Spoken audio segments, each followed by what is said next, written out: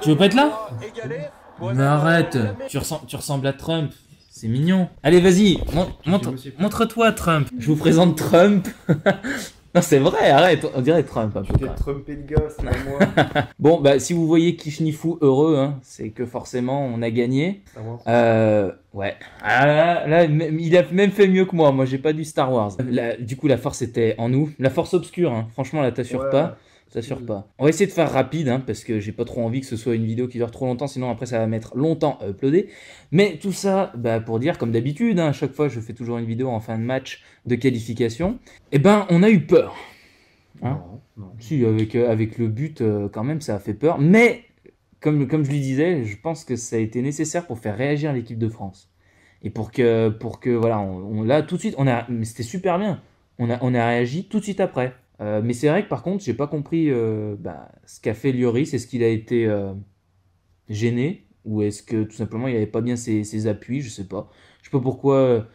il a, il a pas trop bougé. C'est vrai que même, même toi, tu, tu me disais à un moment, il y avait la balle qui, qui passait juste à côté. Tu sais, le, le, mec qui avait, qui avait mal tiré son coup franc. Pas même pas le coup franc, non. Quand il était arrivé devant les cages, il a fait n'importe quoi. Plongé, bah ouais, Lloris, il a, il a même pas plongé. Ça, on n'a pas trop compris pourquoi. J'ai l'impression qu'il était pas trop dans son match, mais en même temps, il faisait quand même des, des bons trucs.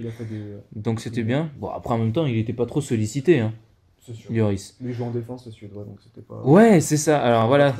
Pour parler un peu du match, justement, ouais, euh, c'est un truc qu'on a souligné, c'est que justement, il, il jouait pas mal en défense, un peu comme des, des Roumains. D'ailleurs, ils avaient la même couleur. Ouais, exactement. Par contre, ils étaient bien plus grands.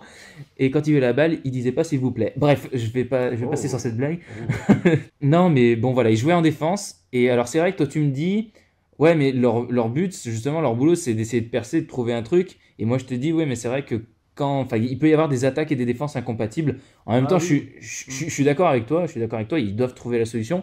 Mais on se rend compte dans certains matchs quand même que des fois, les attaques et les défenses sont complètement euh, incompatibles. Et des fois, ça passe pas et on n'arrivait pas à trouver des, des, des, failles. Et ce que j'ai trouvé aussi, c'est que, alors, avant ce match, j'étais encore assez euh, inquiet euh, ou dubitatif sur le, le côté de Payet. Je me hmm. disais toujours, on s'enferme pas mal. Et puis finalement, eh ben, quand on est allé trop du côté de CDB, on s'est rendu compte. Ouais, on s'est rendu compte que c'était pas génial en fait finalement euh, côté CDB. CDB, il est plus dans le dans un peu le bulldozer Sissoko quoi. Il perce. Euh, et me dis pas comme Julien. Non, j'ai failli. Putain, on a pensé pareil. Non, mais il perce. Donc, c'est-à-dire que du coup, lui, euh, il faut qu'il ait la balle dès le moment où il y a un trou dans la défense. Euh, par contre, dès le moment où ils doivent construire, je trouve que c'est mieux qu'il passe par Payet. Alors, beaucoup vont me dire, oui, mais Payet, il a fait des déchets. Ça rime en plus. Mais c'est parce que Payet, il provoque. Il tente. Ouais, il provoque. Alors que Sidibé, pas trop. Il n'y a pas trop de construction. Alors que je trouve qu'il y a ça bouge pas mal entre. C'est qui qui est du même côté Matuidi? Que Payet euh, Ouais, je crois qu'il y a Matuidi. Il y a un noir. Ouais, en tout cas. Matuidi, Sissoko. Non, c'est pas Sissoko. Euh, non, je crois que Sissoko, oui, est plus de l'autre côté. Alors par contre, Sissoko, hein, toujours aussi euh, bulldozer. Hein. Il est là lui-même. On a vu Giroud qui était en fait un très bon défenseur ce soir. Sous les côtés arrêtés, ouais. mais c'est vrai, il a sorti de la défense avec deux têtes. Euh, non, sinon, pour faire un vite résumé de l'équipe, niveau défense, rien à dire. Euh, bah, les côtés. Evra, il a été là, il a fait ce qu'il fallait. non, c'est Sidibé. Euh, ouais, Sidibé. Milieu de terrain, on n'a pas trop vu Pogba, il a pas mal tiré, c'est pas mal. Il a tenté, mais bon. Voilà. mais sinon, ouais, après milieu, Sissoko et tout, ça y allait. Payet, justement, sur le côté, moi j'ai bien aimé. Matuidi, il a fait des bonnes accélérations, des, bons. Hmm. Et puis après, en attaque, alors c'est vrai, on n'a pas trop vu Griezmann. C'est tout. non, mais il n'y avait pas, il y avait pas Giroud. Giroud, il était en défense. bon, bref. Résumé. On se prend un but. L'équipe de France, elle réagit à donf. Ça fait ah super plaisir.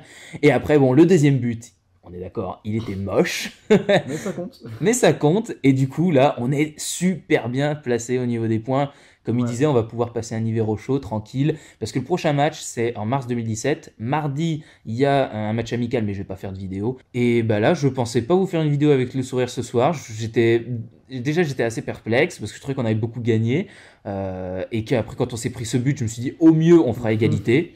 Et puis finalement, ça va, on a gagné et on est devant, on est premier au classement avec 3 points d'avance. Que demander de mieux? Maintenant, il faut voir les autres matchs aussi ce qu'ils ont fait.